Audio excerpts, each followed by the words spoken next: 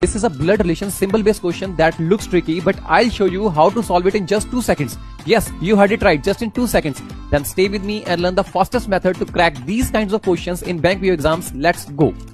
These are the symbols and this is the question. We will solve this question with the easiest trick, the generation gap method. Here is the funda. Whenever you move up in the family tree like father, uncle and grandfather, then you have to add. Whenever you move down like son, grandson, then you have to subtract. When the relationship is at the same level like brother, sister, husband and wife, the generation gap remains zero.